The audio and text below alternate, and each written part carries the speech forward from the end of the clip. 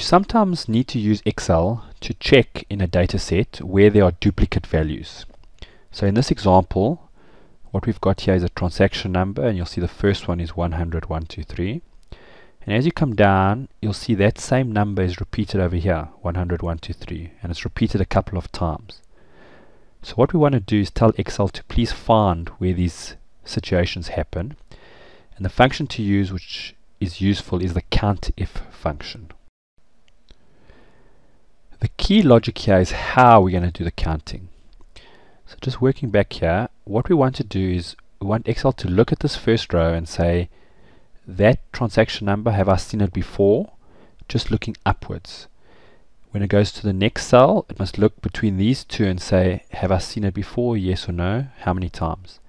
So eventually we'll go all the way down here and by the time we get to this cell, what it'll do is it'll count how many times it's seen this transaction before and in this case it'll say oh there's another one here.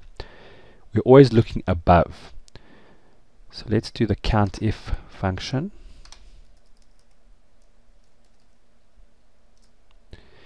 The range is where we're going to make the major difference. So I'm going to say please look at the range from here. And in this case by just pushing the semicolon we've got the same range. And the criteria I'm going to make it this cell here. What is key is as I copy it down I want the first cell to stay the same of the range but the second uh, reference can move. So what I'm going to do is go and freeze that portion and say okay. So just looking what it's doing it's saying I found one time this transaction. If I copy it down, and let's copy it down to about here, as we go down, you'll see the area it looks at is ever increasing. Until such point as it gets to that row here, where it's now looking and saying, in this range here, I found this transaction twice and there it's 3, 4, 5, etc. Now what we want to do is in a separate column we want to tell Excel where is the first instance of any particular transaction number shown. So for example this 2, 3, 4 all of them are irrelevant to us. We don't actually care. We know that that means that they're duplicates. All we care about is the ones. So a simple way to do that is to use the if function and just to say if this is a 1, that's fine, we'll put a 1 for example. If it's not a 1, then put a 0 or else a, another word. So I'm going to just use the function wizard, go to the if function, and the logical test here is if this cell is equal to 1, then I know that that is a, a unique situation, so I'm going to if it's true, in my case, I'm going to put a 1, but you can maybe put a word saying unique or whatever you want it to be. If it's not a 1, then it must be a duplicate. So you can either put a word, but I'm going to put a 0 in. So okay. And I can now copy it down. So what you'll see here is that all the unique transaction numbers get 1s, and wherever there's a duplicate, you now get zeros. So if you wanted to now, you could set up the data filter and say just show me the ones and you then only see the unique numbers. What we can now do is actually take it a step further. What we want to do is uniquely identify the unique items. So what we want to be able to say is give a unique, absolutely unique number to the lines that are unique. So for example, let's say that'll be a 1, that'll be a 2. When it gets down here where there are duplicates, we don't actually want numbers for these, and then we want unique numbers here. This will allow you to do things like VLOOKUP on the, the set of data.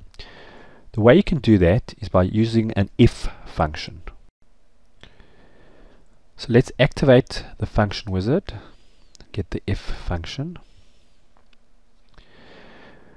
What we want to do now is every time we see a 1 in this first instance column, I want to have a unique number. So let's say I'll just take a number and add 1.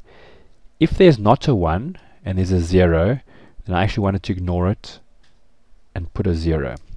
So the logical test is, is the cell equal to 1? If it's true, and again we're going to use a growing boundary, I want it to sum